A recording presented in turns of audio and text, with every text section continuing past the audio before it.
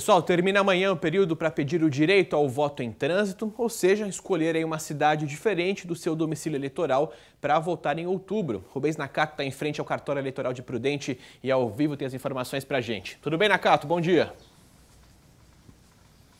Bom dia, Casa Grande. Bom dia a todos. Olha, para solicitar o voto em trânsito, os eleitores precisam estar com cadastro eleitoral regular e também que estarão aí fora né, da sua zona de votação, seu domicílio de votação nas datas do primeiro ou segundo turno, que acontecem nos dias 7 e 28 de outubro. Será possível votar fora da zona eleitoral de origem em capitais e municípios com mais de 100 mil eleitores.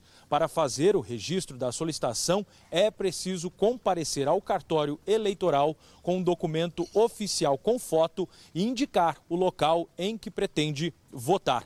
O serviço é gratuito e para quem estiver fora do município, mas ainda dentro do estado de origem, vai poder votar para todos os cargos em disputa. Já para quem não estiver né, no seu estado de votação, só a votação, a, o voto é permitido apenas para a presidência da República. Então, reforçando para quem ainda não fez essa solicitação do voto em trânsito, o prazo vence amanhã. Casa Grande. Tá certo, Nakato. Recado dado aqui ao vivo no SBT Interior. Obrigado, bom dia para você.